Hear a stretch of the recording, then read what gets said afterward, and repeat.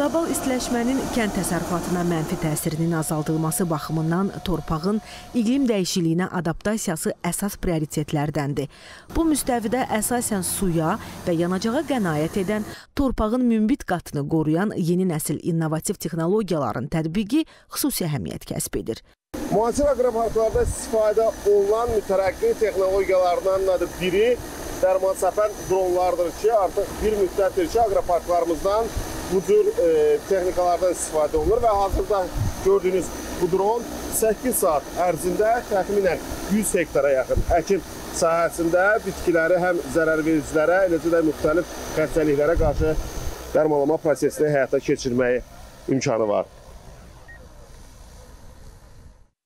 Ölkədə aqrar və ekoloji siyasət çərçivəsində innovativ yanaşmaların və alətlərin istifadəsinin genişləndirilməsi kənd təsərrüfatının davamlılığına və ən əsası ekoloji təmiz ərzaqla təminatına da imkan yaradır bu texnologiyaları, texnikaları, yenilikləri bizim fermerlərə çatdırmaq və hesab edirəm ki, iqlim dəyişimini yəni adaptasiya edən texnologiyaların nümayişi baxımından və gələcəkdə bizim fermerlərimiz bu texnologiyaları öz təsərrüfatlarında tətbiq etməklə həm ətraf mühiti qoruyacaq, eyni zamanda torpağın dayanıqlığını torpağın münbitliyini artıracaq və e, əlavə də mənfəət və gəlir əldə etməsini təmin edəcək. Məsələn, suya və yanacağa qənaət edən havaya buraxılan zəhərli qazların təsirini aradan qaldıran Mizori texnologiyası.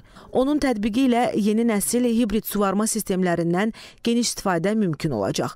Bu da kənd təsərrüfatının davamlılığına, kənd yerlərində rifahın artmasına da təsir edəcək. Cansız torpaqlarda belə bir məhsuldarlıqlara nail olmuşuq.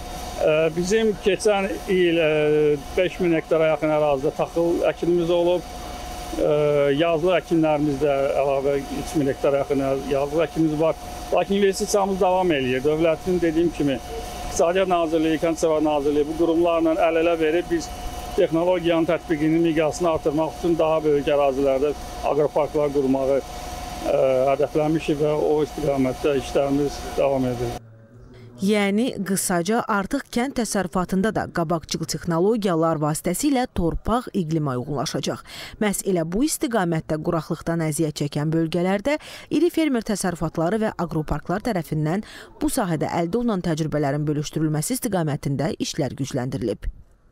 Yaşıl Dünya naminə həmrəylik çərçivəsində tarla müşavirədə nümayiş etdirilən müasir texnikalar, eləcə də maşın və mexanizmlər bu gün aqroparklarımızda, iri fermer təsərrüfatlarımızda istifadə olunmaqla ekologiya az təsir göstərməklə gələcəkdə münbit məhsulun əldə olunmasına hesablanıb. Xaliq Qurbanlı, Rəşidə Zülfüqarova, Fuad Quliyev, ASTV xəbər.